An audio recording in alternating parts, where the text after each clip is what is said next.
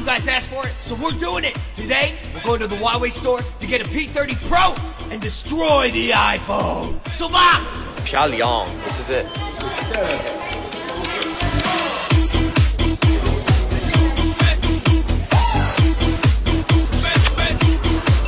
Well, now I don't need an Apple iPhone anymore. By the way, come here. This is a real iPhone. This isn't fake. This is my phone. This is my new phone, baby!